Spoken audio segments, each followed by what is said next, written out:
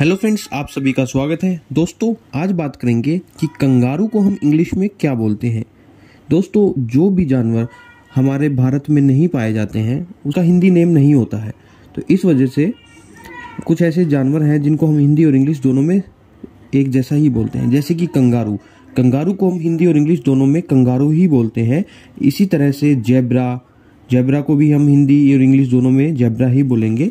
हम जिराफ को भी इसी तरह से हिंदी और इंग्लिश में जिराफ ही बोलेंगे। दोस्तों, वीडियो पसंद आए तो लाइक करना ना भूलें। Thank you